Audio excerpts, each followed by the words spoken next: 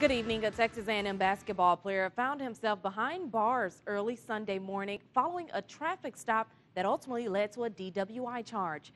21-year-old Aggie basketball center Tony Trocha Morelos was stopped near Old Main and Wellborn Road just before 1.30 a.m. Sunday. According to police documents, Trocha Morelos was driving a black BMW X5 when he showed several signs of intoxication and could not pass a field sobriety test. After he was booked in the Brazos County Jail, he was bonded out less than two hours later. Trocha Morelos does not have any prior DWI convictions.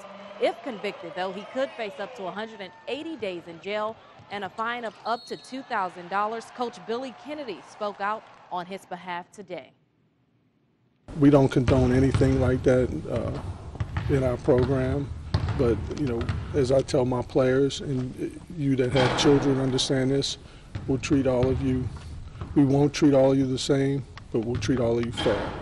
And uh, Tony is a great kid, and uh, I, I don't have any co- problem saying that. You know, obviously, there, was something happened, so.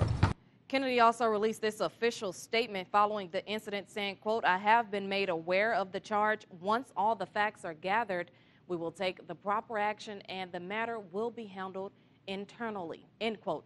The statement goes, goes on to say, per the athletics department policy, a student athlete who is arrested is suspended immediately pending a meeting with the athletics director.